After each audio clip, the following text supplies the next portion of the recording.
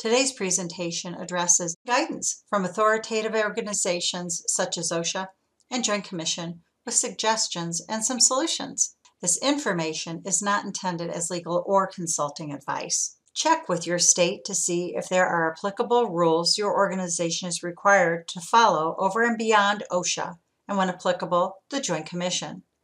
Let's review some advice from the Joint Commission, OSHA, and the American Society for Healthcare Risk Management. There are free resources, and they're valuable resources, especially for those healthcare organizations that are struggling financially during the pandemic.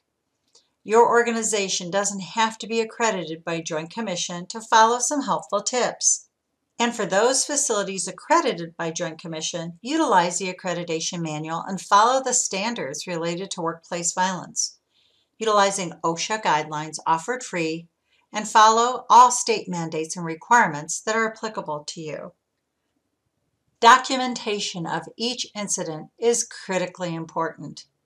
Reporting a violent incident at work is voluntary, so it's possible that many healthcare workers who experience violence in their workplace ultimately do not report it. It's embarrassing. They may not have an easy way to report it. It could be their superior or a coworker and they don't want to come forward. Each episode of violence or credible threat to healthcare workers warrants notification to leadership, to internal security, and is needed even to law enforcement, as well as the creation of an incident report.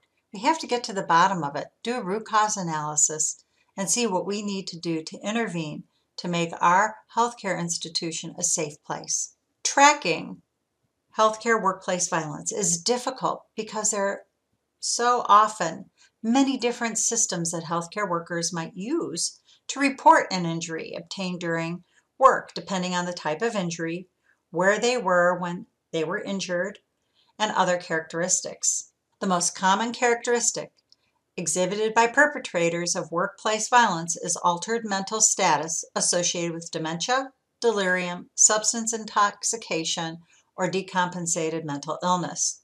Also, one study showed that patients in police custody within a healthcare setting are involved in 29% of shootings in emergency departments, with 11% occurring during escape attempts. Hospital needs they, we need to provide safeguards for the workforce in these situations and care for potentially violent individuals. Your organization should document and clearly define workplace violence. Implement a program which easily enables your workforce to report these types of events. Track and analyze reported incidents and make sure you follow up. Developing a strong safety culture is addressed by the Joint Commission and recommended by consultants and attorneys. It's a key aspect of ensuring both worker and patient safety. Leaders create and maintain a culture of safety and quality throughout the hospital or the healthcare organization is what's expected.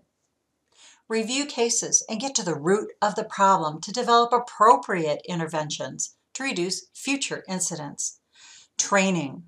Can't emphasize that enough because training your workforce in conflict de escalation techniques, self defense, and emergency code response is also recommended by Joint Commission.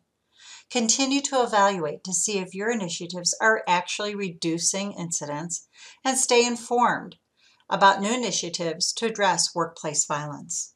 The U.S. Department of Labor and OSHA suggest that an effective program to prevent reduce workplace violence should gain managerial staff commitment and worker participation, perform worksite analysis and identification of hazards for prevention and control, provide workforce health and safety training, and document evaluation of your program periodically.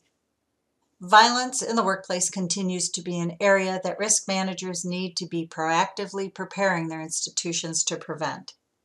At the same time, the risk managers need to know what to do in the event that they are faced with an immediate situation.